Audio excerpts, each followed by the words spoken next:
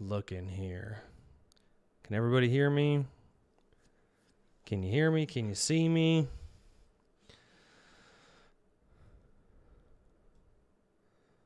Sorry about being late. All clear. Good deal. There's a mic, there's a new mic. Let me know if it's too loud or if it doesn't sound good. Mess with the levels a little bit. Should be all right. BH, good to see you, buddy. Craig, good to see you, buddy. Based Hispanic, thinking about thinking of converting to Islam. Are you talking about yourself or are you talking about me?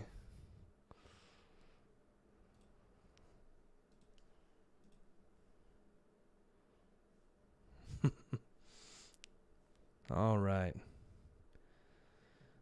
Well, I hope everybody's day is going well. Sorry, I had to pick up my daughter from a further away vantage point. My mother in law, who was supposed to watch her today, wasn't able to watch her.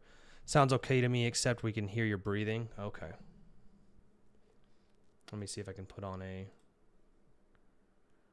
a filter for that.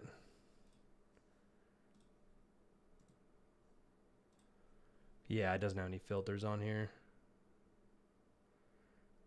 On noise suppression. Cool. There we go. That should help out a little bit. Sorry about that. I thought the pop filter would take care of that. I just set my daughter down and was running, trying to get ready for you guys, so a little out of breath. Okay, let's bring up the article.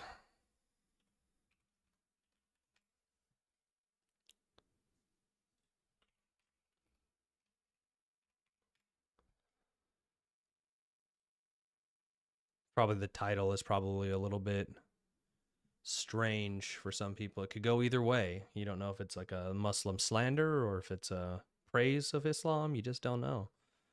Let's see here. Where can I? More out of breath than, the blow burritos. oh, too true. Too true. Okay, let me see if I can add this. Hang on. Does that sound better? Some less of my breath, hopefully. I can add in video broadcast too, if need be. Window capture, I think. I don't have this all set up since I reimaged my computer. Browser, display capture. I think we just want window capture. Oh. There we go. I would have been concerned if it incorporated Gates of Vienna in the title. Not now, not so much. oh. Okay, how did I edit the size of this thing? This thing is a little.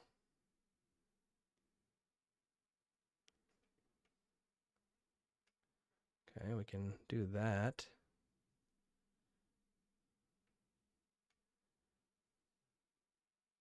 Is that going to work on the side? Yep. Okay. And then but there's a way for me to edit. Oh, yeah, yeah, that's right. So I'm going to go, okay. I'm going to do transform. On the top, I'm going to take off like 100. Maybe like 50. There we go. Off the left, we want to take like 50. Off of the right, And now I can shrink it down. There we go. Well, that's actually a little bit of a weird size. Since... Why did I get so... I guess I can put my screen over here and flip it. Uh, transform. Flip horizontal. Did it. Glad to see you, Wolf, today. How are you doing? I'm doing okay, Ibrahim. I'm doing okay. Happy to see everybody. Happy to be back, at least in whatever capacity this is. Gonna take off 100. Well, I'm sure some jovial Austrian did not say that. I got my new camera. Check this out, guys. Got AI face tracking. So I'll never be out of frame. That's right. You'll never get away from me. Haha. okay.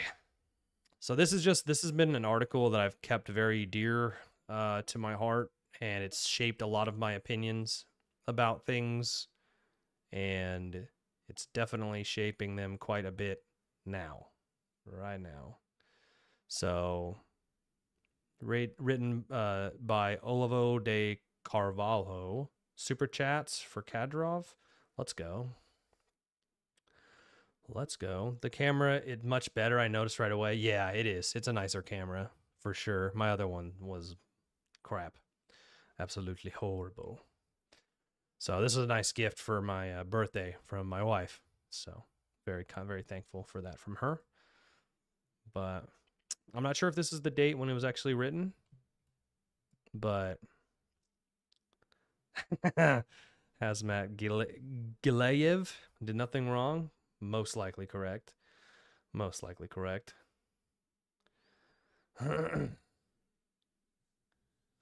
so this is this article is all about what one of my favorite writers of all time thought about what the fate of the West would be. And this article, this author is a Catholic. He's a like a, a traditionalist Catholic, so he's kind of arguing against it in a way. But it's very clear that Guénon, as well as a lot of people in his vein of thought, the traditionalist and the perennialist perspective guys, thought that there was no hope for salvation in the West anymore, uh, especially within the Christian church. And they thought that Islamization, and this will you'll see in the article, was the only option, the only way out, basically. Hail Abrahamism, bro. Yo. so you can see here it's got the got the uh, the prayer, the Islamic prayer going on there. But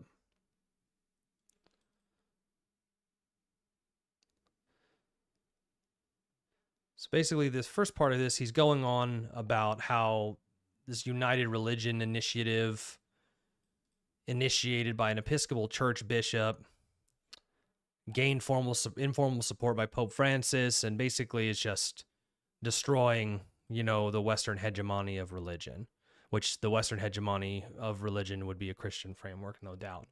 Uh, there's little doubt in anybody with their salt, uh, worth their salt, in the mind that you know the West is spiritual foundations is uh, based on Christianity. That's just I'm not gonna think of an undeniable reality. And um, so he goes and talks about analyzing, you know, these these books, but the main meat of it that I want to talk about is his is him talking about Rene Guénon, Frithjof Schuon, and all of these traditionalist guys, and what he thought their position was and how what basically what his what he thought where he thought the West was going and how he critiques it, but I don't think that his critique is I don't think his critique is is enough. I think that and he kind of says that at the end that basically Guénon is an insurmountable intellect. He can't really what he's what he said has been so predictably true that anybody who's tried to make a counter argument has basically failed and that's I think that's true because anybody who's the the, the perenniality of religious traditions and things like that, and Islam being the the kind of final the final revelation seems to be pretty apparent to him. So, mm, so he goes into Aldous Huxley and Alan Watts. Let me see here where I want to start here.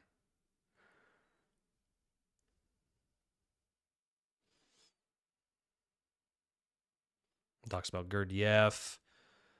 Oh, here, here we go. I want to talk about where he talks about uh, exoterism and esotericism. so we'll start. I guess maybe we'll just start up here. Maybe we'll just start at the beginning. I feel there was a better starting point. I had it picked up, but it didn't say where I was at. Let's see. Haven't heard Watts in years. Yeah, well, It's probably for the best, every for the best for everybody's point of view, uh, or the best from everyone's vantage point, right? Hmm.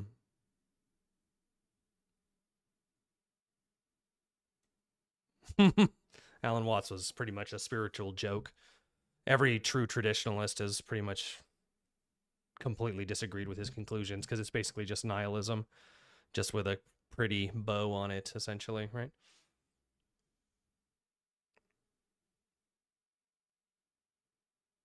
Was still just a man. oh, yeah. A man who may have had a breakdown after his wife died and decades of occult Nick spookery. Who are you talking about? Are you talking about Watts or are you talking about Guénon? No, Sig isn't Craig. Craig is the stream that Jake built. Sorry for the confusion there. Here we go. Let's start here. This is it. From the point of view of the ordinary seeker who coming from the rev- from revolutionary modernist and atheistic circles is alerted to the importance of spiritual themes and after a temporary illusion of the new age becomes disillusioned with its superficiality and goes on search of a more nourishing food, the passage to traditionalism of Guénon and Schuon is a formidable intellectual upgrade, an unculturating impact, almost an inner transfiguration that will suddenly isolate him from the surrounding mental environment marked at one time by the discredit of religions and endless vulgarity of omnipresent occultism, and will leave him alone face to face with his conscience. Thus is fulfilled on the individual scale the famous prophecy issued by an anonymous biographer of Rene Guénon soon after the master's death. The time will come when each one, alone, deprived of all material contact that can help him in his inner resistance, will have to find himself and only in himself the means to adhere firmly through the center of his existence to the Lord of all truth. Rare, very rare, are those who reach this point, most fall by the wayside, but for those who do, it is difficult to resist the impulse to make personal contact with Guénonian and Schuonian circles in search of relief, support, and guidance. It is by this process of spontaneous selection that the intellectual elite is formed, which, as we shall read on, Guénon, in, uh, Guénon had in view of his 1924 book East and West. Monsieur Guénon. Oh, gotcha. Okay. I would I don't know about a I mean I don't know I wouldn't know about a breakdown. I don't know if that is very encapsulating of what happened, but I mean it, anything's possible. Um, for it is clear that among the various worldviews in struggle, the most comprehensive one, which absorbs and explains all the others, is at the top. It is the summit of the consciousness of an age, the nec plus ultra of intelligence and the intelligible. What gives even more authority to the perennialist teaching is the repeated affirmation by its expounders that it is not their invention, but the mere transfer in current theoretical language of um, uh, immemorial revelations that go back to a single original source, the primordial tradition. an, affirm- an affirmation identical on the surface to that of the New Age proponents, but now based on a superabundance. Hey, Zico, I appreciate that, man. Beware the occult. You'll not only lose your mind, but your soul. Yeah, no doubt. New Age proponents, but now based on a superabundance of documented proofs, rational arguments, and an organized science of universal symbolism and comparatism, from which are born intellectually dazzling tours, dazzling tours de, tour de force, such as Rene Guénon's Symbol of Sacred Science, A Treasury of Traditional Wisdom by Whit, Whitall N. Perry, one of Frederick Schuon's closest collaborators in the USA. Schuon in the US, uh, in the USA, a monumental collection of sacred texts, organized in such a way to illustrate beyond any reasonable doubt the essential convergence of the doctrines and symbols of the great religious and spiritual traditions, the transcendent unity of religions.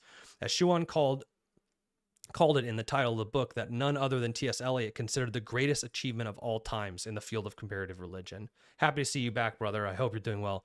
Thanks, man. I really appreciate that. I'm I'm doing better. I'm doing better. I'm all right. Um, might just make it out of this whole dang thing alive, which is the most hope that I've had in about a year and a half's time. So I appreciate that. All the prayers are working. Um, in the first place, all the perennialists, without exception, insist that the doctrines, symbols, and rites of the various traditions, in particular, although they always point to a, uh, although they always point to a supreme reality, which is the same in all cases, have their own integrity and cannot be subject to fusion, mixture, or syncretism. In other words, they cannot undergo the kind of unifying operation that is precisely characterized by the New Age. Secondly, eh, not everything that presents itself under the name of religion, spirituality, or esotericism or the like can enter this synthesis. On the contrary, the precise, strict, and even intolerant uh, distinction between tradition, pseudo tradition, and anti tradition is common to all perennialists. Much of the material compacted in the New Age falls into these last two categories, and far from the, in the integrating and the unity of the primordial source represents the parity or negation of everything that comes from it. Third and most important, the transcendent unity of religions is really transcendent, not immanent. The religions that are unified only by the top, the summit, and the living core of their doctrinal conceptions, and not only the irreducible variety of their liturgies, their moral codes, and their different paths of spiritual realization. And where precisely is this core and summit? It is in their respective metaphysical conceptions, which are in fact co- convergent, as the simple collection organized by Whitall Perry suffices to show beyond all possibility of controversy. In this sense, religions and spiritual traditions can be seen without can be seen without distortion as adaptations of the same primordial truth to the historical, cultural, linguistic, and psychological conditions of the various times, places, and civilizations. The various exotericisms reflect in their difference in their differences the unity of the same primordial esotericism. Those who have clearly grasped the unity of this esotericism have intellectually overcome the difference between religions, but since they are not made of pure intellect and still have a historical temporal existence as flesh and blood people, they remain subordinated to their respective religious traditions without being able to merge or mix it with any other. The classic example is the great Sufi master uh, Ibn Arabi. I'm not going to say the first part because I'm bad. Uh, explicitly stating that his heart could assume all forms that of a Hindu Brahmin, the, that of a Kabbalist rabbi, that of a Christian monk, or any other he or any other. He remained in his life a real and concrete individual, entirely faithful to the strictest Islam, Islamic orthodoxy. New traditionalism was and is to some extent a cult. They deny this, of course, but how does one how does how much does anyone here know of uh, Master Rene Benyaha's nutty miracles, his proto UNESCO view? I mean, yeah, it would be, but I mean, are you using like the traditional understanding of like cultists?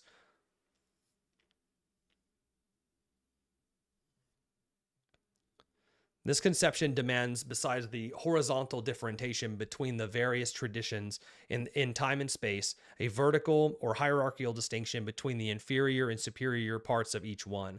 The lower or exoteric parts are historically conditioned, and by them the traditions move away from each other to the point of mutual hostility and total incompatibility. The higher esoteric parts reflect the unchanging eternity of truth, where all traditions converge and meet. Yeah, I mean, I think by the by the same definition, I mean, you could turn almost anything into a cult, right? Like it becomes such a broad definition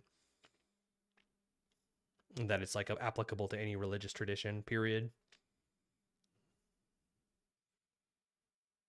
There is, in short, a, a, popular religion made up of rites and rules of conduct equal for all members of the community, and an elite religion only for qualified people who, behind the symbols and laws, can grasp the ultimate meaning of revelation by practicing the aggregation rites that integrate them into the religious tradition, and by obeying the rules, the men of the people ob- obtain the post mortem salvation of their souls through initiation rites, and members of the elite obtain in life and far beyond mere salvation. This spiritual realization this the, yeah the spiritual realization that takes them away from the simple individual state of existence to transfigure them in the ultimate reality itself or god. Yeah. Example the cultus per the latin. Yeah there you go.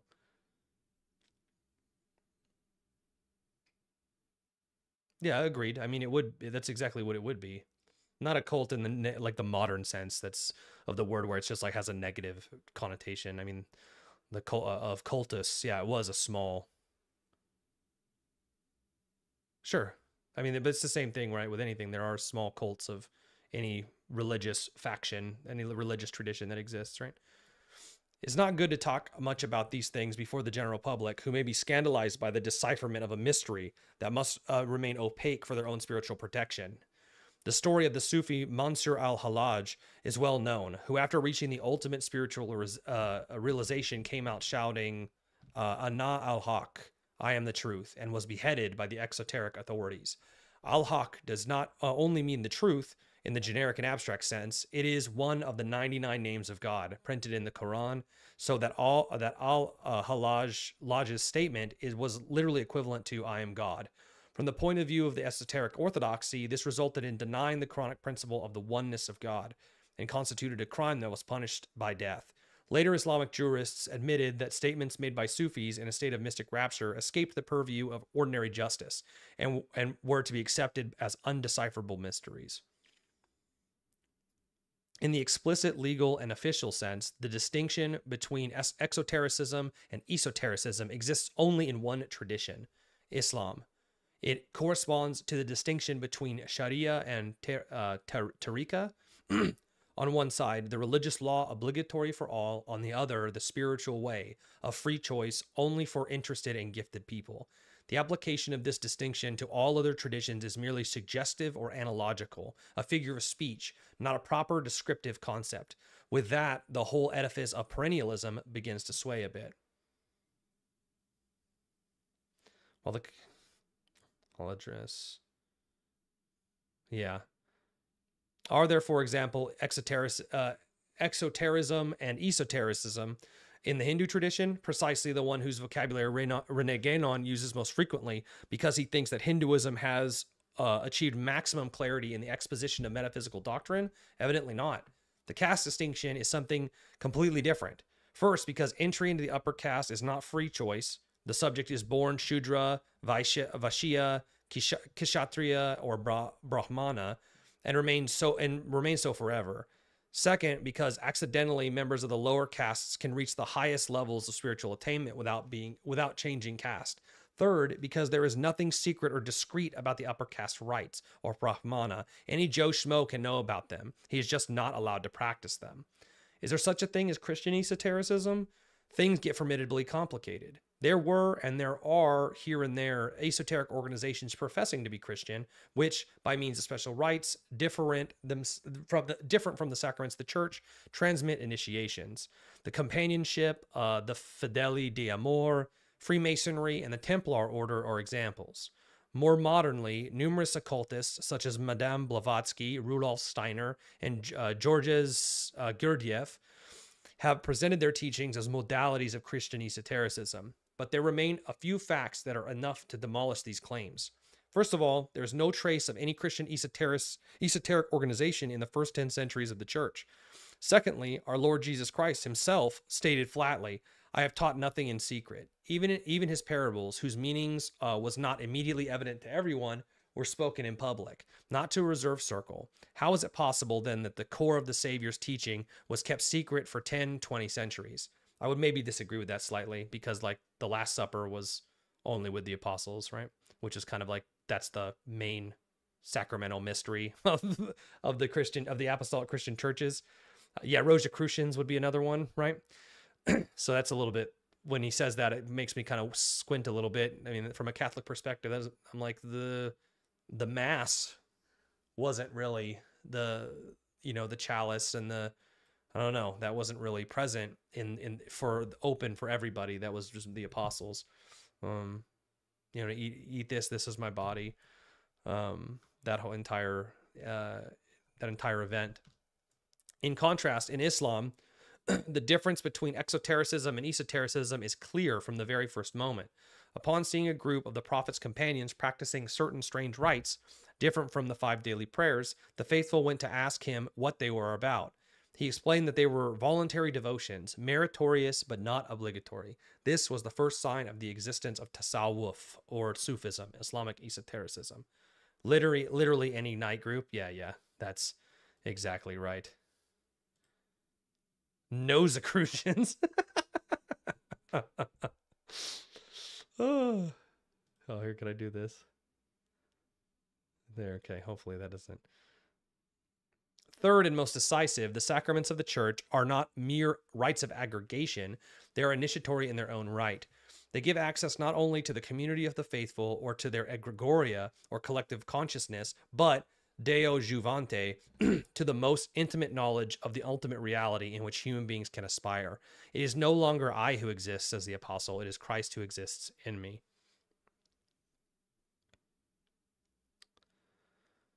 John Paul II, in his catechism, explicitly states that the sacraments are the steps of Christian initiation, and it is inconceivable that in such formally, uh, doc- formally doctrinal text he would use the term as a mere figure of speech.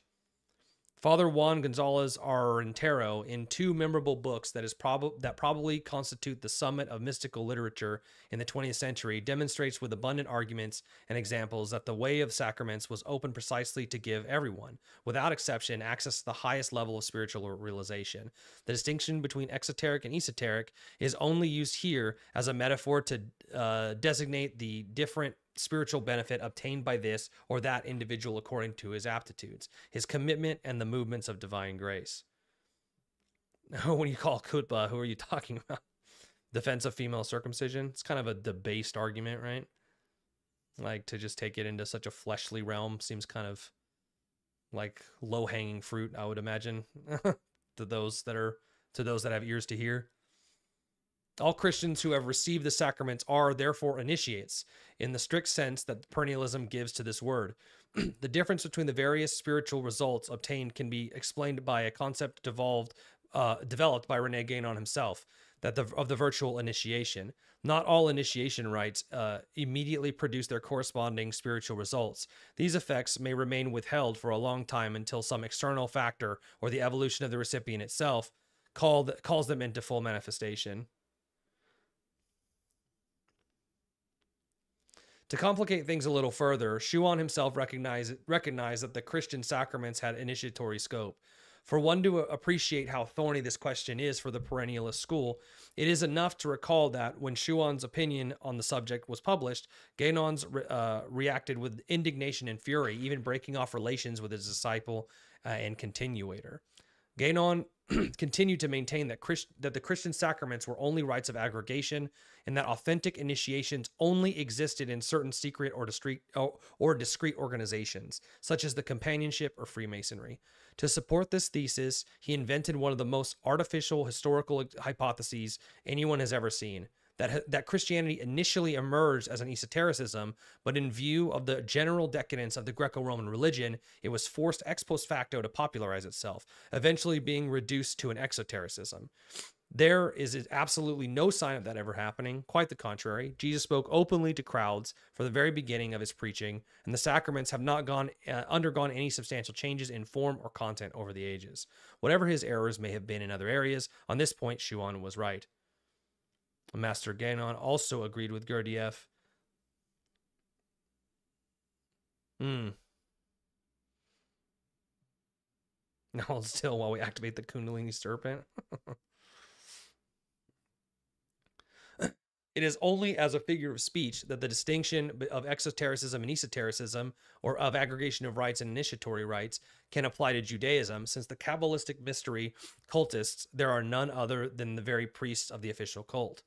So, in, so inappropriate is the application of this pair of concepts to extra Islamic territory that members of the perennialist school itself have ended up having to acknowledge the existence of exo esoteric or even exoteric initiations alongside the properly esoteric ones, which is enough to show that these concepts serve little purpose.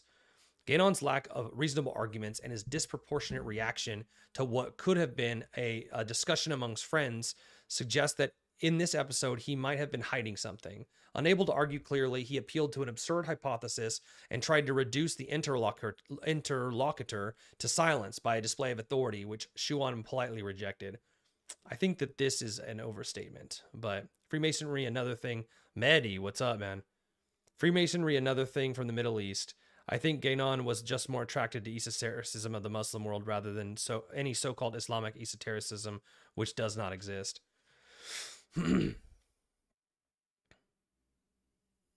What was the reason why Guénon would have chosen to forcibly fit all traditions into a pair into a pair of concepts that did not properly apply to any of them except Islam in particular?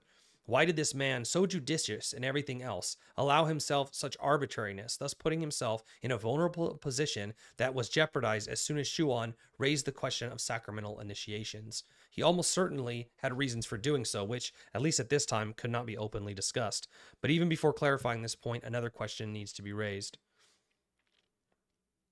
that material different traditions converge towards the same set of metaphysical principles is something that can no longer be seriously doubted.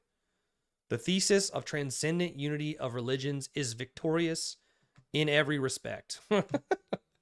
so it's funny because like this author Carvalho, right? He comes kind of hard at Guénon. He, he, you know, he's trying to argue against him in such a way, but then it it's like he he he he makes a, a counterpoint and then he has to back up. He has to you know backstep a little bit because I don't. That's why when he says certain things like this, I don't see a lot of evidence. I don't see a lot of evidence for these claims of of of Guénon overstepping his boundaries onto Schuon's hypo or over Schuon's claim about the the esoteric nature of the Christian religions or the that they're still um, esoterically binding or not, right? I think that, in my opinion, I believe that Guénon knew exactly what was going to have happen to the Christian sacraments. I think it was more of a prophetic thing than it was uh, maybe at that time, but I think it they have been degraded over time. I think that's pretty clear. Um, via, you know, uh, as far as the onslaught of Protestantism, post Vatican II, um, Orthodoxy kind of keeps somewhat of its initiation rites. But then you see this later. This is exactly what Carvalho argues, and he makes Guénon's points very crystal clear. And that's kind of the whole point of why I wanted to read this, because when he succinctly puts Guénon's points, in my opinion, it becomes very difficult to argue against them because I think they're very evidently clear with just a cursory reading of just of the culture at large, of the world at large. that that materially different religions converge toward the same set of metaphysical principles is something that can no longer be seriously doubted. And once again, the thesis of transcendent unity of religions is victorious in every respect. There is only one detail that what exactly is metaphysics? I do not use the term uh, as the denomination of an academic discipline, but in the very special and precise sense that it has in the works of Guénon and Schuon. What is metaphysics? It is the structure of universal reality, which descends from the infinite and eternal first principle to its innumerable reflections in the manifested world through a series of levels or planes of existence. The fact that it is essentially the same in all traditions indicates that there is a normal perception of the basic structure of reality common to all men of any age or culture. This perception requires a clear consciousness, or at least a, pres- uh, a presentiment of the scalarity of reality, that is, of the distinctions between different planes or levels of reality from the sensible objects of immediate perception to the ultimate reality. The absolute, eternal, immutable, and infinite principle passing through a series of inter, uh, intermediate degrees historical, terrestrial, cosmic, angelic, etc. The perfect submission of human subjectivity to this structure is implied in all traditions as a conditio sine, uh, sine qua non of religious life and even more so of spiritual realization. Its denial, mutilation, or alteration is the root of all the errors and follies of humanity. This is why Schuon proposes a distinction between essential heresy and accidental heresy. The word heresy comes from a Greek root that has the meaning has the meanings of to choose and to decide. The heresiarch is someone who, of his own volition, chooses from the total truth the parts that interest him and ignores the others. Accidental heresy, according to Schuon, is the denial, mutilation, or alteration of the canons of a particular tradition, such as monophysitism in Christianity, the theory that Jesus had only divine nature, not human nature, or associationism with Islam, associating God with other beings. Essential heresy is the denial, mutilation, or alter, uh, alteration of the very fabric of reality. An error, therefore, condemned not only by this or that particular tradition, but by all of them. Materialism or relativism would be an example of that, or for example. yeah. No joke. No joke. No joke, Jake.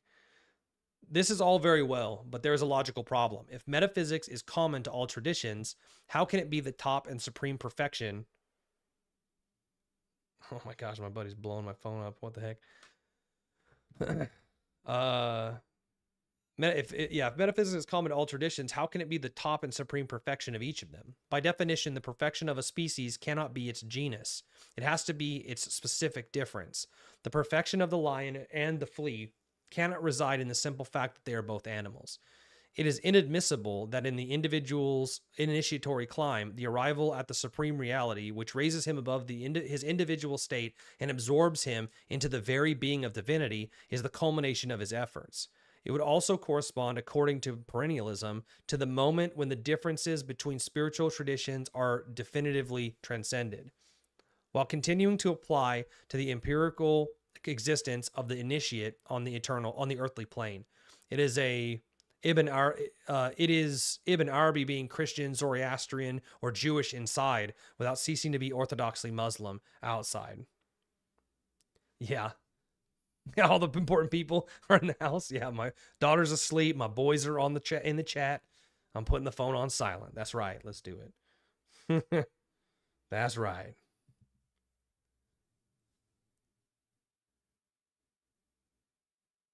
Sayyid Qutb, major influence on the ideological formation of the neo Wahhabist Muslim Brotherhood in Egypt. Not trolling, just busting some bubbles. I got you. Okay.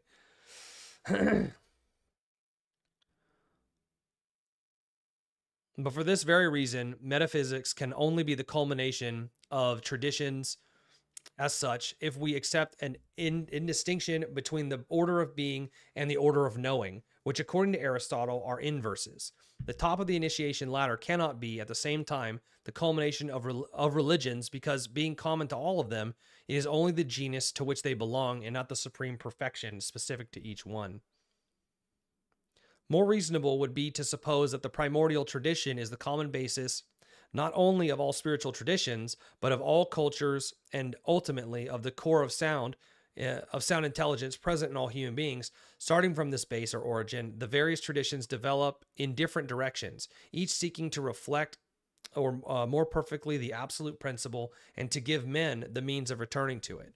In this sense, the culmination of each tradition is not the principle itself, but the success it achieves in the operation of return. And there is no reason to suppose that, in the various species, all express equally well the perfection of the genus. Fleas and lions are equally animal, but the flea does not express the perfection of animality as well as the lion, to say nothing of the human being.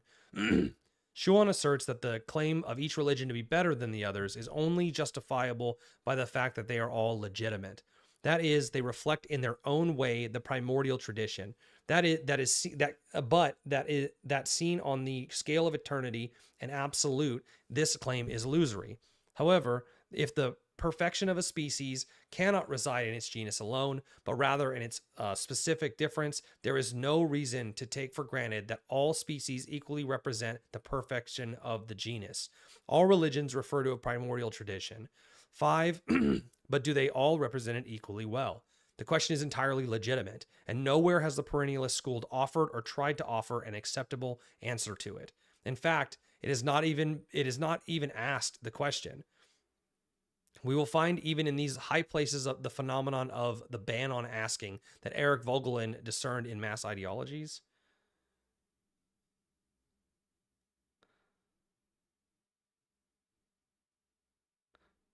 Folks here know about as much about the real flawed human personalities which made up the core of tradition as the average Scientologist. Folks here meaning like people in the chat, me. Are you the uh are you the the the decipherer of all things traditionalism? You, you've done the research, you put the nose to the grindstone and you've figured it all out. I don't know how much interaction we've even had. I don't really know. I don't really recognize you, but I've been gone for a long time, so the generation of the traditionalist school gathered around Frithjof Schuon, writes Charles Upton, presented the revealed religions in their celestial essences, subspecie aeternatis. if the celestial essences of the religions are substantially the same, the difference between them is purely terrestrial and contingent the particular forms of each having nothing sacred in themselves without the nourishment they receive from the primordial tradition. Only the one, the religio perennis, is the true in the strictest sense. The others are symbols or imperfect appearances of it, clothed in its various earthly incarnations. But, continues Upton, these revelations are considered branches of the primordial tradition. But this tradition is not presently in force as a religious system. It is not a religion that can be practiced. The only viable spiritual paths exist in the form of or within the present living revelations. Hinduism, Zoroastrianism, Buddhism, Jain, uh, Judaism, Christianity, I almost said Jainism, Judaism, Christianity, and Islam.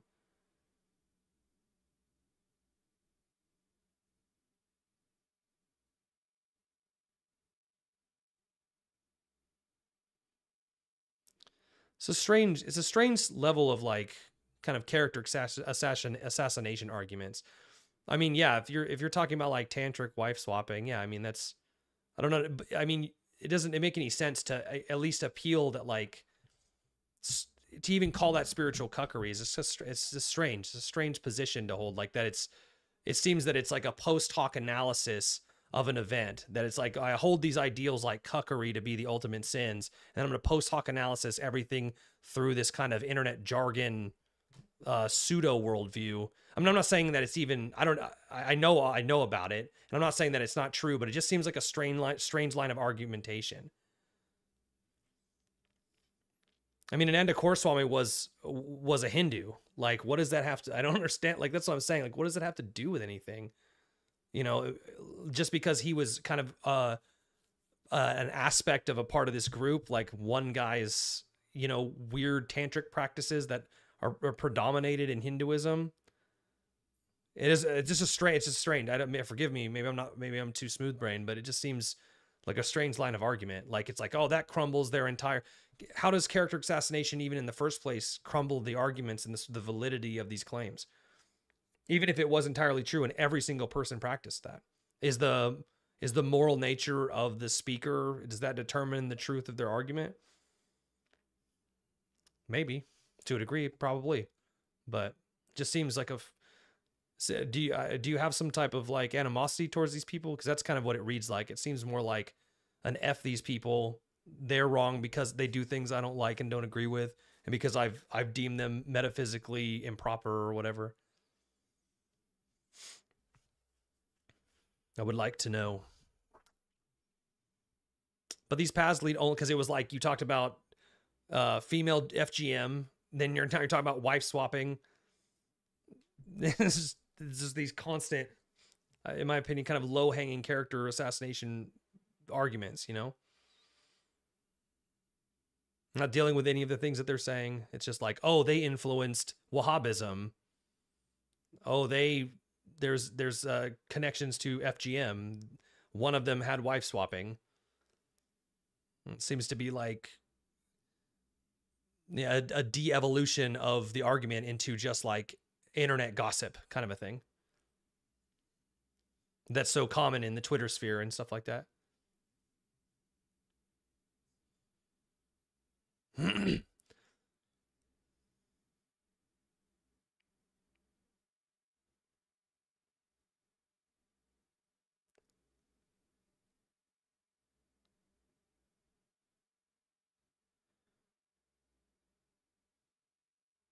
Hey Yusuf, how you doing, buddy? Are you saying eh, are you saying Evola had claimed that? Like, are you are you saying Evola had a had a had a dog in the fight?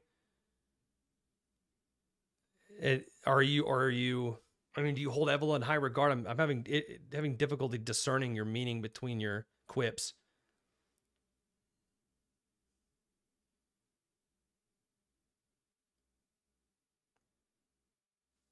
But these paths lead only to salvation in a post mortem life. To climb a little higher in the present life, one must, without abandoning them, join an esoteric organization and practice, besides the rites and commandments of the popular, popular religion, some special rites and commandments of initiatory character. In other words, popular religion is a certificate for qual- of qualification required of the postulant at the entrance to the initiation path. For the Muslim, this is not a big problem. Although they have a separate existence, tariqas are generally recognized as legitimate by the official religion so that the interested believer can move freely between the two types of practices. For the Hindu, this is not a problem either. Even though there is no proper Hindu esotericism, Hinduism accepts and absorbs all the practices of other religions, so that, apart from uh, the political conflicts between Hindus and Muslims, nothing prevents a Hindu from joining a tariqa, Freemasonry, a Chinese triad, or any other esoteric organization without changing his status in his society of origin. In the case of a Catholic, however, things get complicated. According to Guénon, all Christian initiation organizations disappeared after the Middle Ages, leaving the poor faithful limited to a spiritually capricious exotericism. All that remained were the remnants of extinct organizations and Freemasonry. It turns out that a sentence of Pope Clement the, the, 12th in 1738 condemned an, to automatic excommunication any faithful Catholic who affiliated with Freemasonry or any other secret society. The decision was reinforced by Pope Leo X in 1890 and formalized by the 1917 Code of Canon Law. The new code of Pope John Paul II in 1983 spoke only of secret societies without mentioning Freemasonry by name, which briefly gave the impression that the excommunication had been suspended until the Congregation of the Doctrine of the Faith in November of the same year clarified that this was not the case at all, that the prohibition to join Freemasonry remained in force. In other words, the faithful Catholic who read René Guénon and believed in him seeing in the loss of the initiatory dimension of the roots of all evils of the modern world was pressed to the wall by the by the choice between giving up esotericism once and for all, being content with exotericism more and more, reduced to an external moralism, or seeking Masonic initiation and him and being excommunicated. That is, losing the exoteric affiliation, which, according to Guénon himself, was the conditio sine qua non uh, for, uh, for entering esotericism.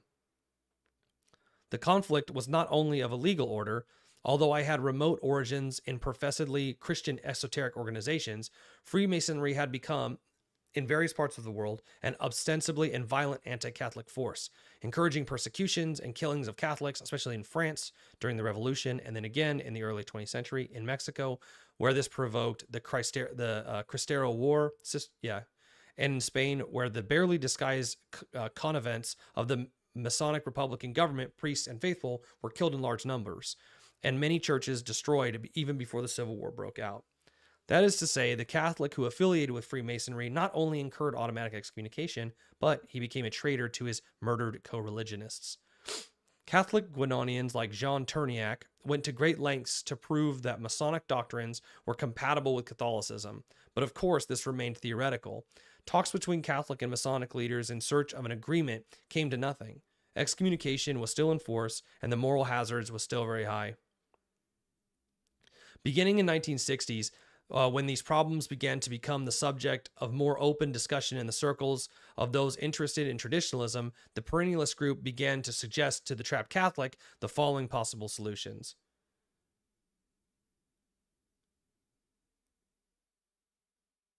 Well, yeah, I would agree. Ego death doesn't make you immortal. That's a fact. Yeah, I mean that's not the entire end goal of any uh, of any of the claims that are being addressed in this article or elsewhere.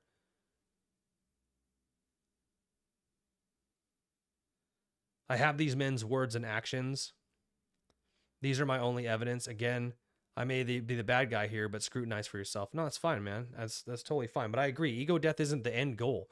I don't think that was that was gay. I don't even, I don't even imagine that was Guénon's or Martin Lings' or any of the traditionalists' point at all. I don't think ego death was the ultimate end goal for anybody. Like, to, if you're thinking that like total extinction into oneness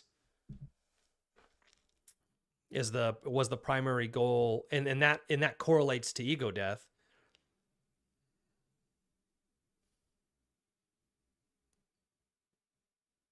Yeah. Now you don't need to be categorize yourself as a bad guy, man. I appreciate you being here. So it's interesting. I mean, you're raising you're raising interesting points. It's just sometimes a little bit hard to follow your line of thought. So I apologize if I'm not doing it correctly. Forgive me for that. So here's kind of where it gets to the meat, to the nitty gritty, the nitty gritty that we've been talking about. That I wanted to read this article for you guys. So, beginning in the 1960s, and for those who don't know, 1960s is when the Second Vatican Council became codified, um, and Guénon's predictions about what was going to happen to the Catholic Church when he uh, was friends with that French humanist. I can never remember his name. Maybe Sig will remember, but that uh, a Catholic, a French Catholic humanist that had a lot of influence within the papacy at that time he saw like the seeds of liberalism and its inability to return to a true metaphysic was going to blossom in the Second Vatican Council.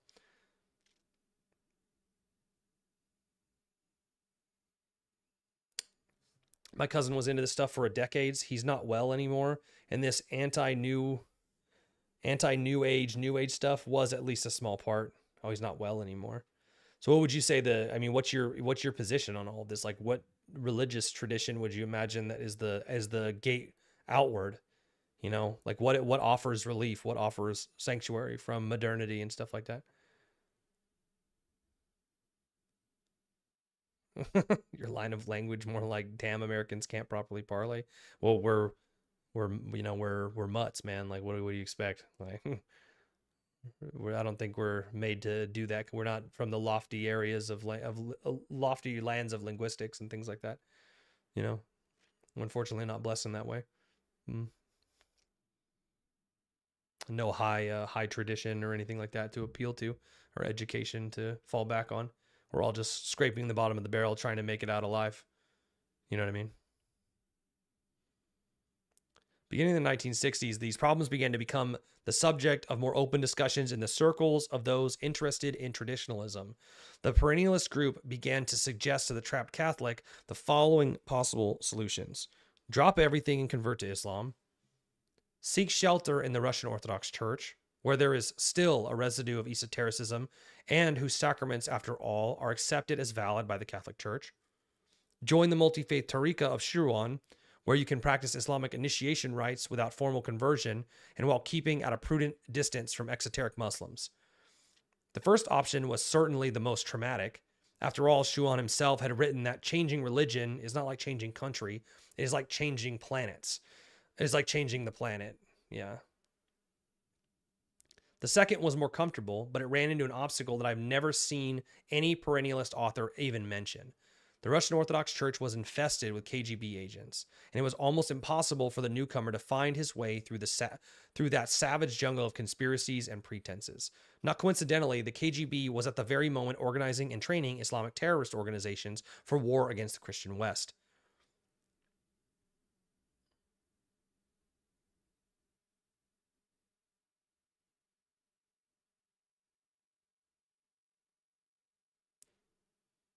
What esoteric residues does the Russian Orthodox Church have? Mm, they have just, a, I would say that they have a, a higher view of the sacraments and they keep hold to the Desert Fathers. Um, they read the Church Fathers more frequently. Their uh, entire liturgy is more traditional; it's not watered down, and they defend it more rigorously. Particularly the Russians, but not not normally the Greeks or the uh, the Coptics or the um, Antiochians or anything like that. Yeah, it could be wrong due to entheogen use. Yeah, I'm not maybe disagreeing with that. I'm saying these folks weren't saints. Well, who do you believe? So, do you believe there are any saints in any, you know, in any religious tradition? And can I don't know if I don't, and I just don't know if the grappling uh, with these with these claims is it can be invalidated based on the historical record and based on the world that we see now. That's the that's the question. But if you imagine that there's some type of outlet or some type of how would I say some type of spiritual stream that can be latched on outside of just you know materialism and things like that. I mean, are you like, you know, are you are you like a Platonist or something like that, and you believe in like the something like that, something that looks like the Western Hermetic tradition or something? Your neo or Neoplatonism, because I mean, you clearly don't believe in any of the real revealed religions, you know, right? Definitely not part of any of the Semitic faiths, as as you probably categorize them. So, uh, the the left uh, that left the third, the easiest and most natural. Schuon's Tariqa was, in fact, full of members of Catholic origin, starting with Schuon himself and some of his closest collaborators, such as Martin Lings, Titus Burckhardt, and uh, Rama P. Coomaraswamy of whom the first two converted to Islam, the third remained a Catholic, at least in public, while still paying uh, the sheikh uh, the statutory vow of total obedience required in the tariqas. Orthodoxy, Slavic Christianity wants to pretend it is or always was more Greek than Jewish. So this, so I, I guess that's was your would be your point. So you would agree that the Judaic roots of all three of the revealed religions would be too much for any for is too much to overcome and must they must be cast away because of that. And you must revert to some type of um some type of pre-christian paganism or something of that nature. Is that would would that be your argument? You're correct in that i do not. Nobody owns god or truth. Yeah i mean you're right about that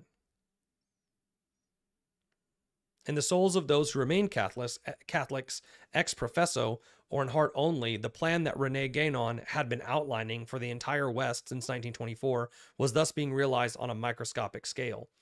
After describing with the somber colors of a genuine apocalypse the spiritual degradations of the civilizations in the West, attributing to it the loss of the true metaphysics and the links between the Catholic Church and the primordial tradition, links that could only have been maintained through initiatory organizations, René Guénon foresaw three possible developments for the state of the affairs of the West. One is the definitive fall into barbarism. Two, the restoration of Catholic tradition under the discreet guidance of Islamic spiritual masters. Or three, total Islamization, either through infiltration and propaganda or through military occupation. I will own nothing and be happy. I will eat the bugs and I will get in the pod. I won't. I I won't. But but I was just echoing the sentiment.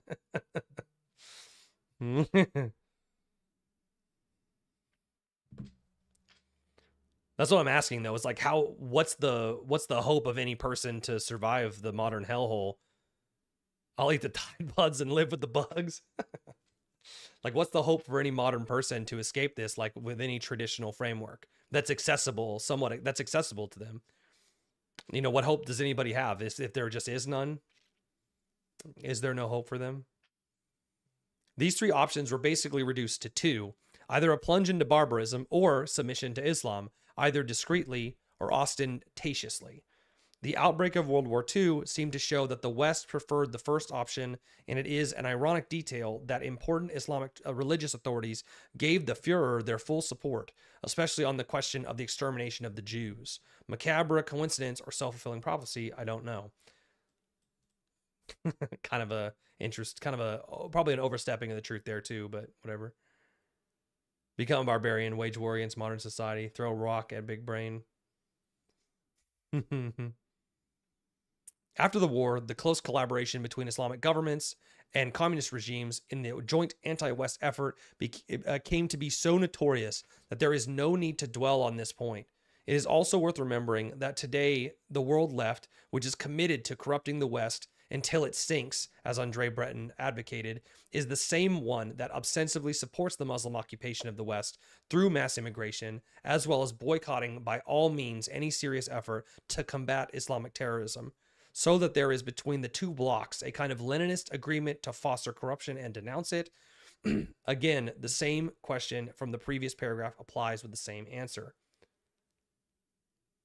For the aspirant from a Catholic background, all the Tariqa offered was the choice between becoming a Muslim or being a Catholic under Muslim guidance. The same choice that Guénon was offering to the entire Western world. Argument is everything has been subtly distorted, polluted, or too easily to too easy to use for perversely human purposes. We'll only know if we are saved after the delusion of the corporal modality, i.e., death. So there is no hope. It's just basically you die and you find out. what's the what's the phrase? Fuck around and find out. That's basically it. you know? What a way to live. that we have that we have the ability to do. What a way to live. I believe that this makes Guénon's intention to squeeze all religions, especially the Christian one, into the forced mold of an Islamic descriptive concept the the exoterism, esoterism, distinction clearer. Indeed, how can one dominate an entire civilization without first framing it within the intellectual coordinate system of the dominating civilization, where it will cease to be an autonomous totality to become part of a comprehensive map? It is also obvious that it was not enough to do this in theory. The most valuable, most intellectually active elements of the target civilization elite had to be won over to this new view of things. Only only when the latter became began to understand themselves in the dominator's terms instead of their own would would they be ripe to accept. Without further reaction, a wider operation of cultural occupation, all the more so because the reduction of Christianity to the binomial exotericism, exoterism and esoterism, accompanied by the gloomy diagnosis of the loss of the esoteric dimension, inexorably culminated in the conclusion that the restoration of Christianity, of its connections with the primordial tradition, and therefore of the higher dimensions of its spirituality, could only take place under the direction of a living esotericism, and that is Sufism. To use Guénon's own terms, it was necessary to submit the West to the spiritual authority of Islam before submitting it to the temporal power. He needs some milk. Demi status is the last stand of implicit whiteness, and this too shall pass. Demitude is the last. oh man. Homosexuality is the last stand of implicit whiteness. To to quote to uh, to quote Spencer Führer Spencer. I don't want. Uh, I'll, I I want to have my gay bathhouses as long as there's no colored people in it. What was that other one that floated around for a while there? That was a funny one.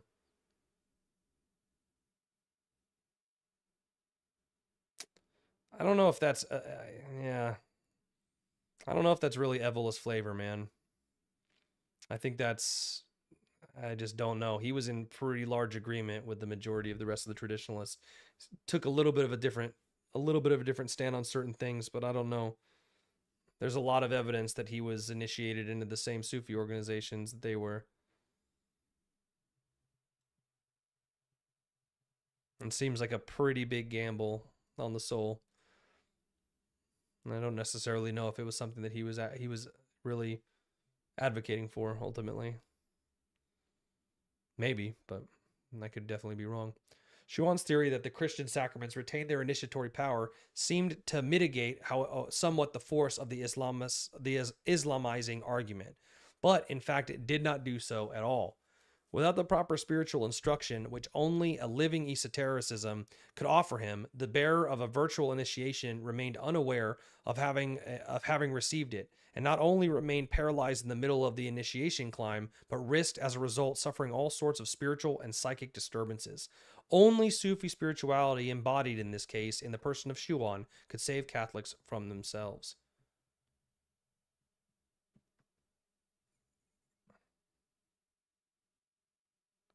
Nah, heck no, techno.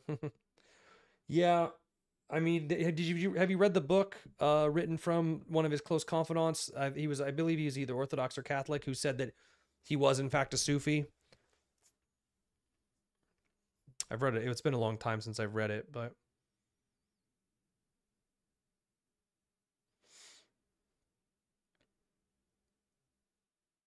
The Islamization of the West, discreet or overt, peaceful or violent is the central and indeed the only objective of Rene Guénon's entire work.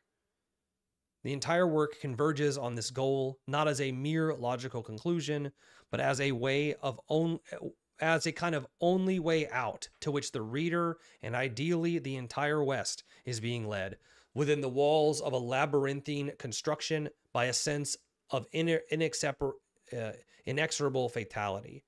Apart from this objective, his work is nothing more than a collection of purposeless, theoretical speculations, an edifice of beautiful and unrealizable spiritual possibilities which he always denied.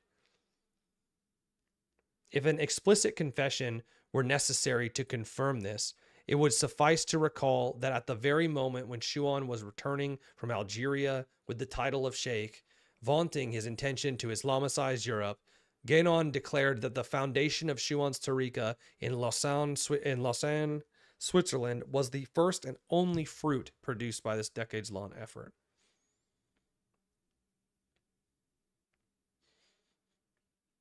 Yeah, and I mean, to say that active, an active nihilism, like, I, I guess you have to you have to buy into the fact that, you know, that the vast majority of people will be utterly incapable of practicing something like that you know so it will truly be only the spiritual elites the aristocrats of the soul that will be able to be participant in something like that. Everybody has to ride the tiger right? Not and not everybody will not nor not everybody can. It's funny that he's got this He's got this uh, article by Archbishop Vigano. That guy has really gone off the rails. Poor, poor guy. He's too bought up in the, too caught up in the whole QAnon thing. Pretty cringe, to be honest. What makes this goal nebulous or even invisible to the public eye are two factors. First, Guénon repeatedly affirmed his total contempt for any political activity, current or ideology, assuring that his interests had nothing to do with the struggle for power. and has turned exclusively to the sphere of the spiritual and the eternal. This seems to place him, in the eyes of many, incomparably above the current dispute between Islamic countries and the West. This way of seeing is not exactly false, it is just empty. It is obvious that Guénon is not disputing political power. He is disputing something that is infinitely above it, and of which, as he himself explains, political power is only a secondary, almost negligible reflection. He is disputing spiritual authority. He is disputing with the Catholic. He is dis, he is disputing with the Catholic Church, placing himself far above it and claiming to guide it from a sublime heights of Sufi spirituality. Not necessarily in person, of course. We used to call it the minimalist lifestyle growing up poor as an East Montana hill folk poor, not accelerationist welfare poor. accelerationist welfare poor. That's a new one. That's a new one for me. I like that. You think that Evola was really advocating for a minimalist lifestyle in that regard? I don't know. I almost thought you, I almost thought that you were like implying like a Bappian a Bappian nihilism, and I was like, please don't do that to anybody, including yourself. Don't buy into that guy. Talk about a fall from grace that that man, that that uh, Kutba dealt with. Jeez, that was pretty pretty nuts. He's very explicit on this point. The Catholic Church, at some point in its history, he says, has lost contact with the primordial tradition and no longer even has an understanding of the higher parts of metaphysics. It stops at pure ontology or theory of being without penetrating the supreme mysteries of non being. Schuon prefers to say supra being. I've already explained on other occasions what seems to me to be the intrinsic absurdity of the doctrine of non being. I will not return to this subject here.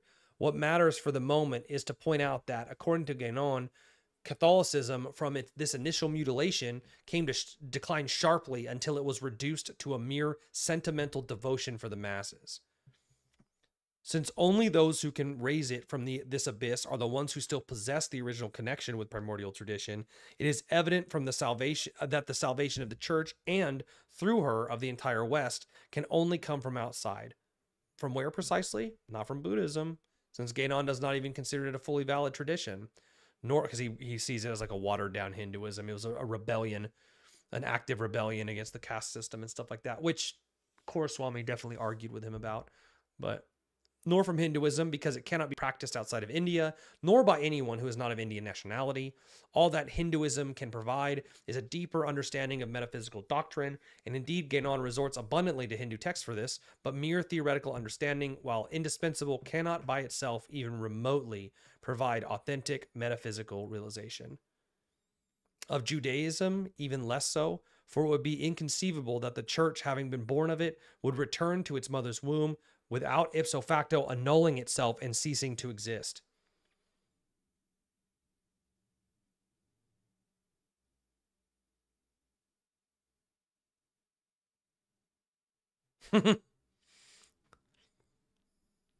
yeah. So that's the that's the I guess that's the argument is empiricism is the only thing that's left. I mean, how do you determine what is meaningful? Like, how do you determine what is good, what is moral, what is meaningful under that under that worldview, or can you at all? I mean, since it's active nihilism, probably not, right? Like, do you have any ability to tell people that homosexuality is immoral or something like that?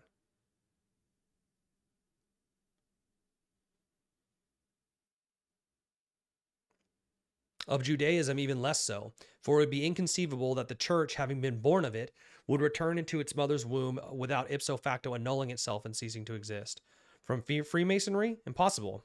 Not only because of its incompatibilities pointed out above and never overcome, but because, according to Guénon, Masonic initiations are only the of small mysteries, secrets of the cosmos and society that do not even remotely touch the heights of the supreme metaphysical realization, the great mysteries. From obstacle to obstacle, there is no need to examine all of the alternatives. The, the uh, inexorable conclusion is that the labyrinth of impossibilities has only one way out. Catholicism can only be returned to its original integrity if it consents to submit itself to the guidance of Islamic masters. Either that or the occupation of the West by Muslims. Tertium non datur.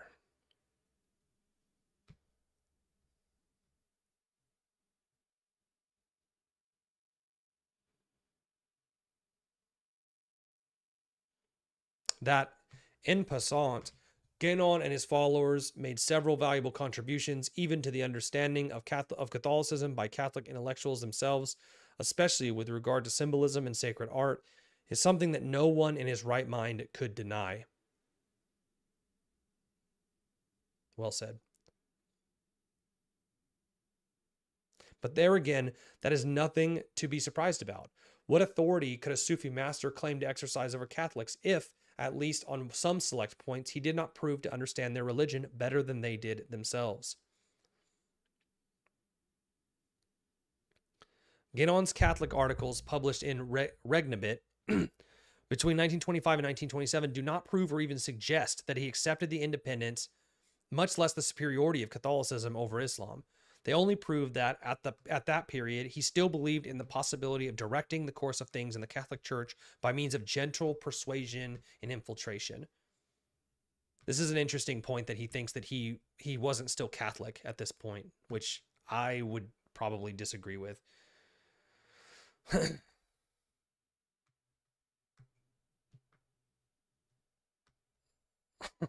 oh boy. His departure from for Egypt in 1930 with the firm decision not to return and to communicate with his public henceforth only through the journal uh, Etudes Traditionnelles, Traditionnelles, I don't know how to say, I don't know how to pronounce French, marked the moment when he lost his this hope and integrating himself more and more and more into Egyptian esoteric circles, even marrying the daughter of the prestigious Sheikh Alish El Kabir, passed the ball back to the Islamic authorities, who had by far guided his actions in the European framework. How things evolved from that point to the adoption of the policy of terrorism and occupation by immigration, which of course would have never happened without the blessing of Islamic spiritual authorities, is a story that we do not know and that can only be told perhaps several decades from now. What is absolutely certain is that Guénon, from the very beginning of his public uh, activity, declared that he did not speak in his own name, but strictly followed the guidance of qualified representatives of the Oriental traditions, among whom it is now known was mainly Sheikh Al Kabir himself.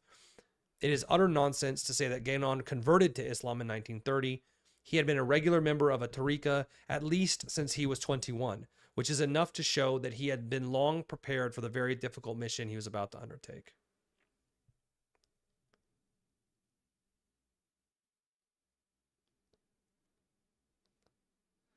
Tends to work for you as an organism. Do you have a family? So it would be an interesting answer, I'm sure. The second factor that makes it difficult to perceive Guénon's identity as an Islamic agent is the very impact of his work on his dis- on his disciples. Qualified as the most dazzling intellectual miracle of our time, this work sheds so many unforeseen lights on the religious phenomenon and the spiritual decadence of the West, and so great is its contrast with all modern atheistic or Christian thought that the temptation to regard it really as a miracle, a divine intervention in the course of history, becomes almost irresistible. almost irresistible. That's accurate. That's how it feels when you just give get on a cursory read. Like I said, it feels like you're reading prophecy. Have no progeny. Hmm. Do you plan on it? Are you a young man? Are you an old man? You speak like a young man, not weathered like me. Viewed in this way, Guénon's work oh, excuse me, right. Mm, say Syed Hossein Nasr in Knowledge and the Sacred does not hesitate to present the entire intellectual history of the West as if it were a long, groping, half-hearted pre- preparation for the advent of Guénonian lights. Viewed in this way, Guénon's work seemed like a supra-historical message coming from the dawn of time, from the primordial tradition itself, and not from a contemporary Egyptian sheikh the desire to erase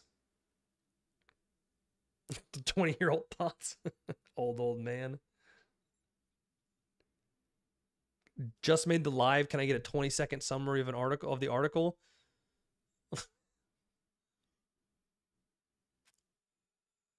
yeah, I'll go. Uh, we're about to finish, and I'll, I'll go up and I'll show you the article, the point of the article.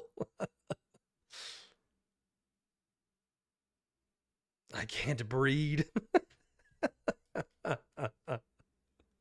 That's funny. Saint George of the Jungle. Wow, I love that. That's fantastic. You're reading it? Yeah, I am reading it. We're just, I mean, I didn't read all of it, somewhat all of it, though. The desire to erase his contemporary roots and to hover above historical contingencies is manifest in several passages of this work and is further reinforced by several expressions of the contempt for the mere historical perspective. According to Guénon, an illusory veil of passing appearances covering up the reality of eternal things.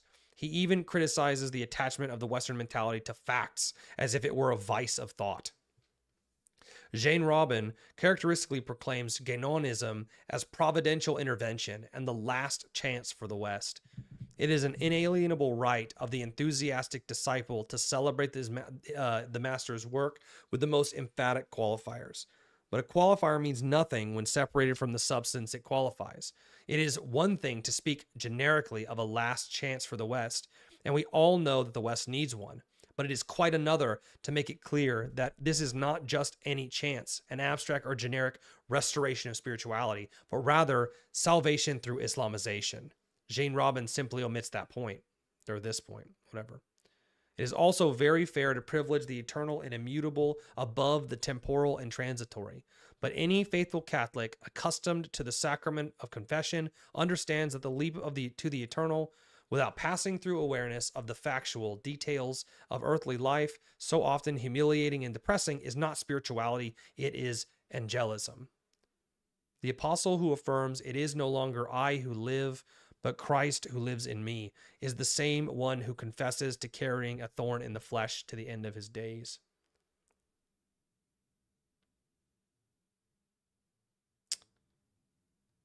I'll answer that in a second, Ibrahim. Ibrahim. The desire to fly into the world of eternal archetypes by leaping over concrete historical reality appears not only in the hagiographic profiles of Rene Guénon's mission, but in at least three books by important perennialist authors on Islam. Ideals and Realities of Islam by Syed Hossein Nasr, Comprehend, uh, Comprender uh, El, El Islam by Schuon, and Moorish Culture in Spain by Titus Burckhardt barely conceal their historical strategy of showing Muslim life only in the eternal archetypes that it symbolizes, contrasting them explicitly or implicitly with the gross factual miseries of the materialistic West. It is all even a little naive. Even a child realizes that it is not fair to compare the virtues of one with the defects of another, instead of virtues with virtues and defects with defects. All this makes it difficult both for the newcomer the newcomer reader and sometimes for the spokesmen of perennialism themselves to admit the obvious. The work of Rene Guénon can have all the providential and salvific character one wants on the condition that one clearly admits the obvious. That is, that in the end, it has never offered any other way of salvation for the West except Islamization. It is also true that any intelligent Christian, Catholic or otherwise, can benefit from the teachings of Rene Guénon without adhering to the Guénonian project.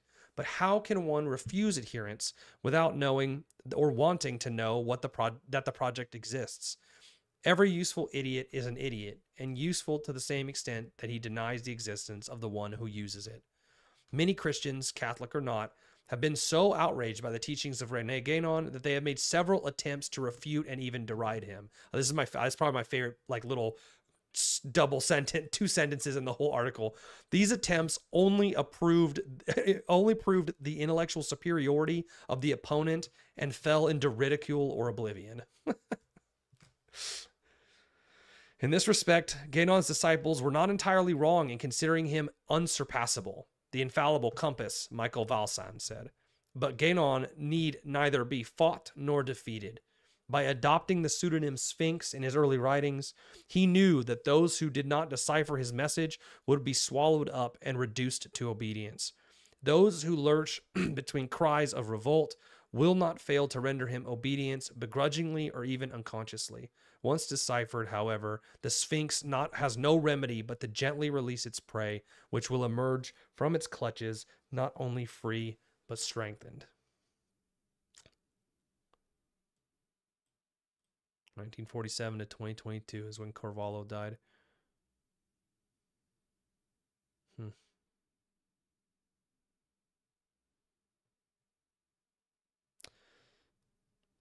Summary of the article can be summarized in these two points. From the Christian perspective, on the esoteric point, on from the Christian, from the perspective of Guénon, the Christian, and anybody in the West has these options. This is the point of the article. Drop everything and convert to Islam. Seek shelter in the Russian Orthodox Church, where there's still a residue of esotericism and whose sacraments, after all, are accepted as valid by the Catholic Church. Join the multi faith tariqa of Schuon. This is obviously historically not there anymore, but where you can practice Islamic initiation rites without formal conversion while keeping at a prudent distance from ex- distance from exoteric Muslims, and that the West only has these options the definitive fall into barbarism, the restoration of Catholic tradition under the discreet guidance of Islamic spiritual masters, or total Islamization, either through infiltration and propaganda or through military mm-hmm. occupation. That, that those are the futures for the West, according to the man who basically who has predicted everything up until this point almost 100% correctly. Of course, Sig would. I choose option three. Option three here or option three here? Which one do you mean? Just kidding. But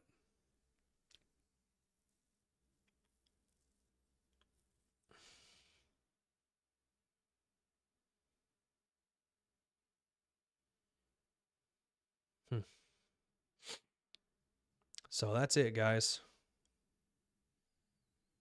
I hope you enjoyed it. I'm back. I'm alive. Oh, to Ibrahim. By the way, Wolf, if you don't mind me asking, you told me you were going to get retested to get diagnosed. Did did you do? Yes, I did do. I did do. I did do do that. Uh, I had another EMG from an from a neurologist with 22 years of experience and four years of on-site training in in a neuromuscular clinic and they found no anomalies in my EMG on the 19th of this month.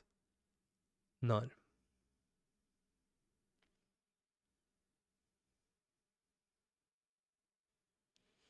So that's the status right now. All symptoms remain, but according to all observable metrics, not dying, at least in any accelerated method or accelerated way uh, that is observable to doctors, at least as of right now. So, what's your takeaway from this article? Uh, I have a very hard time, or, and it's probably just because I'm no longer as smart of a man as I used to be. But these books that are on here. Jeez. Um, my takeaway is is that it's always very hard to deny Guénon's positions. And this one, this article just clearly outlines them, outlines them for those who are reading his books and things like that and didn't really understand what the entire point was. This is saying that the point was to Islamicize the West. Tucker's like, right? So I found I found Guénon correct in almost every regard. Uh, and it is very hard for me to just say now that this portrayal of what he is saying is wrong. I always hope you all the best, Wolf. Thanks, Ibrahim. I appreciate that, man. Seems like everything that Guénon predicted has come true in the majority of ways. and every i mean the fact that people did flock i mean it happened. Everything like what he just said happened. The catholic church fell into kind of sympathetic sentimental devotionism the exact critique that evola had for christianity.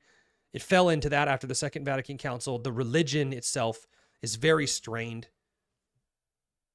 You got a pope that's supporting global homo, a borderline. Some say that he's not, some say that he is. You got people like Ed Feser, which are the most fantastic philosophers in Catholic thought, basically saying that the papacy is in a retracted state, which is impossible, which invalidates the claims of the papacy that it will maintain itself until the end of time. You had people leaving the Catholic Church because of its modernizing efforts and its liberalism into Russian Orthodoxy and the Orthodox Church. All of that is happening. And then you have Islam that is coming into the West and people are converting in droves. In droves of multi of multi levels. Not everybody's becoming like high mystics, but you have people converting to exoteric Islam, Salafism, Wahhabism, all over the place. Pope John Paul II kissing the Quran. And it's like how you see all of that happening in real in, in the real world, talking about this in these empirical senses that Sig is talking about, and and just go, ah, the guy's wrong. the guy's he's damaged by, you know, acid, right?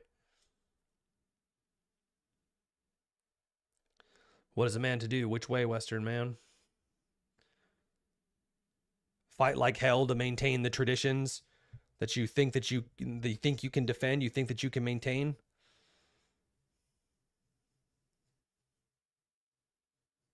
Hmm? What do you do? Do you do this?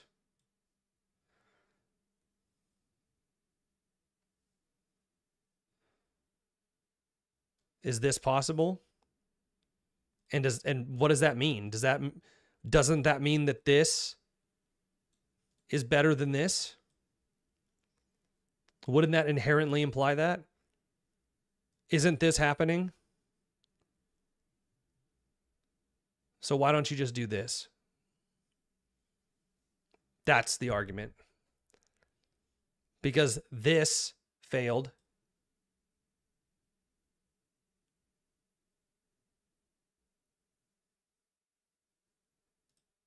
This isn't possible anymore. This is a failure because of exactly what he's he outlines here. And there's more to it than this. There's more to it than just the KGB. This guy's obviously focused on communism to a kind of a ridiculous re- degree, but uh, Carvalho is and thinks it's a lot worse. He thinks it's a lot worse than really that it is. But the problems with the Russian Orthodox Church are not just there. The lack of a coherent authority and stuff like that, and it's it's having its own issues. Petty nationalism. I'm not saying that nationalism is inherently petty. I'm saying it has petty nationalism. The Russian Orthodox Church does, and it goes to war with other Orthodox churches just for the sake of no, just for the sake of nothing. I side with Russia entirely on the on the war in Ukraine. By the way, that's not what I'm saying. I'm not disliking Russia. I love Russia, but you know, I would cont- I would contend with moving there. But you know, but this is not an option for any serious seeker.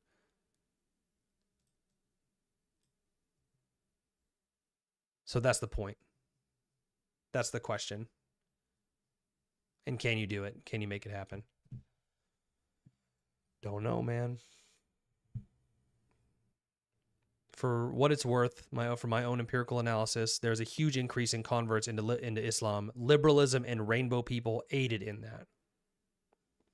Yeah, like they accelerated it, and you have massive conversions of right wing nationalists into Islam.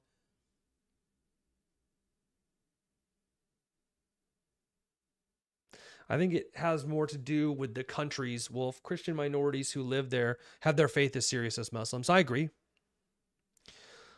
There are pockets of true Christian belief. That's there's no doubt in that.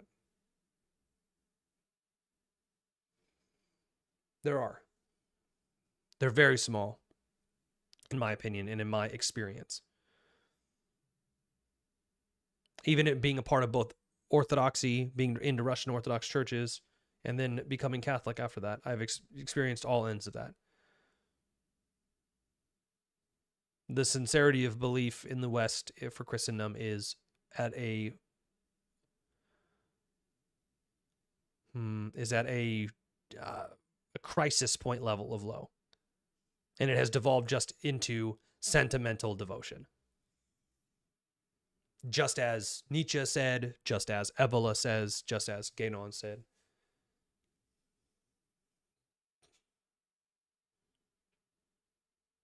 So I think you're right, Ibrahim, and you're doing them great justice, and I thank you for that. It's a very kind thing to say about them. You're very generous. Thank you. So I don't know. It's just something to ponder, just something to think about. I read I read this article. I come back to it every every few months and I reread it because I think it's so pressing. So just wanted to get it out there so you guys could climb around on it and think about it, give me feedback.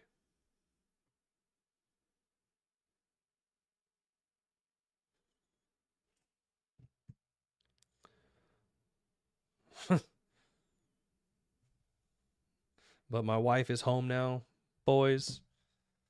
My daughter may be waking up from her nap. So I'm going to leave you with that. I'm going to leave you with that question.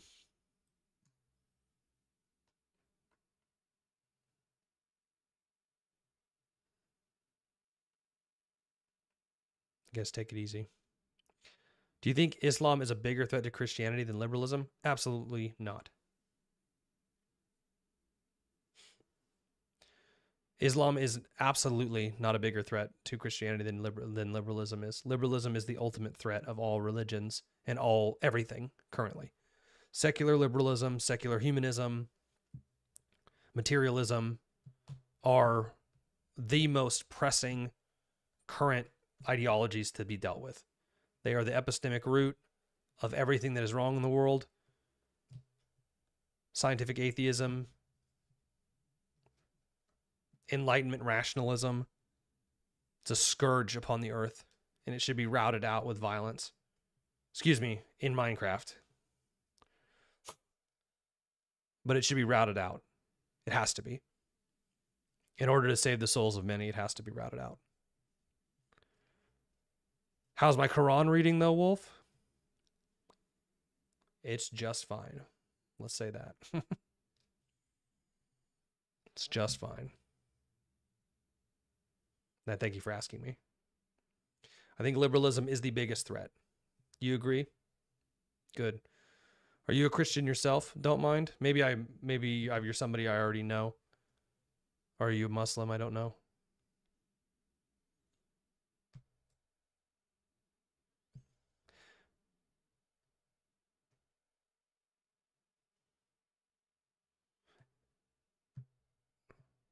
It's hilarious. It's a funny thing that when liberalism and modernism seeped into every single other religion, and this is a, this is an interesting note. Every other religion softened, became and crumbled under the weight of philosophical liberalism and modernism. Islam became more violent and became more strict, like in this case of Salafism and Wahhabism. It's a very interesting thing to notice that that is the modernism of the modern reaction in Islam to liberalism and and and and the movements of modernism. It didn't soften; it became harsher. so what does that say about the strength of its position? I don't know. why is every other why did every other religion, Buddhism, Hinduism, Christianity, Judaism become secularly human, secular humanist, weak mamby pamby? Why did they all become like that? And Islam was the only one that became a, a, a, a furious vindicator against it. I don't know. I it's the kind of questions that keep me up at night. Could it be because it is the young one Maybe. It is 600 years the younger of the uh, of and more you know than the the second youngest faith in, in question. But Freemasonry also became very I'm trying to use YouTube appropriate language. became very mm, pathetic. There's a G word that I want to use very right now, but I'm not. I'm not going to. Um, it could be. Maybe that's maybe it, it it's because of its its length of time that's been around. Christianity had been around 600 years longer, ish. That's a loose estimate. But but you know Buddhism a lot longer than that. But it but that's the thing is Buddhism didn't have this issue. It still maintained the strength of its traditions until it encountered this. So you would imagine if it was just a time lapsing issue, that would have changed uh, just due to the nature of time itself. I think it's about what how you react to your encounter with liberalism. Time could be a factor, but I don't think it's the only factor, right?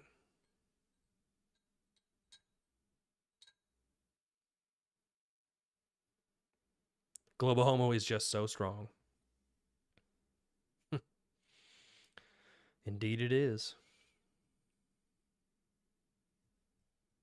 Indeed, it is. So, anyways, uh, whoever wants invite into the Discord, of course, that's still there. It's still open for all to join. Um, if not, you know, leave comments. I'll of course try to address them. I care about all you guys. I missed you guys. Missed everybody. I'm really happy to do a stream, to have a new mic, to have a new camera. Let me see if it still does it with my face. Hold on. No. Oh yeah, there it goes. It like zooms in when I like. You could use, you could use that for like funny reactions. You're like, what? It just zooms in. I can set the level in which it crops my face to, Set the zoom level and stuff. This is just I thought the best one, the the default best one. Where I can find the link, Wolf, to this article? You can play with this all day. I can. Oh, and it's cool. And so it's AI, right? So I can just turn it off. I just like hold my hand up. You can turn it off so it doesn't follow you anymore. It's fun. I know. The oh, the Discord. Let me put a link.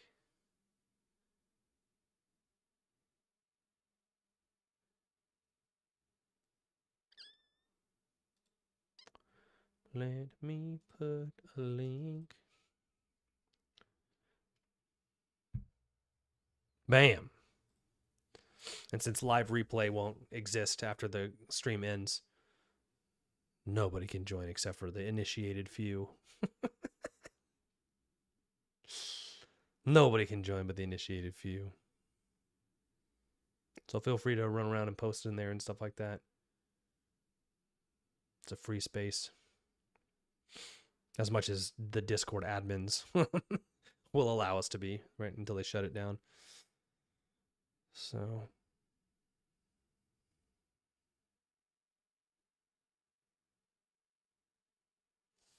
I appreciate you guys. Love you guys. Until next time, I'll try to think of a another interesting topic to go over that we can all investigate together. In the meantime, keep praying for me, keep praying for my health.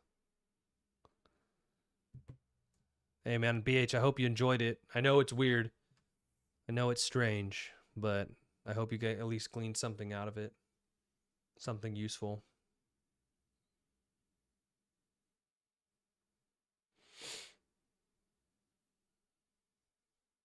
You guys take it easy, all right? I'll see you guys next time.